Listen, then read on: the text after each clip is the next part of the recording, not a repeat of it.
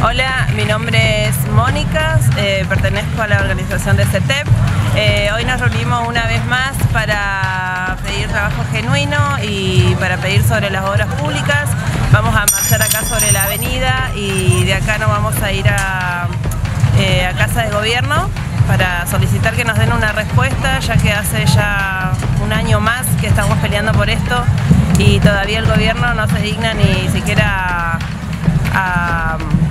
recibirnos, así que vamos a estar marchando hoy para que nos den una respuesta de tanto de lo que hemos pedido. Eh, y bueno, y pedir que nos atienda a nuestros reclamos, ya que él era responsable de la provincia ahora y ahora que, es, que asumió, eh, menos nos atienda. Así que pedir eso, que la deuda es con el pueblo.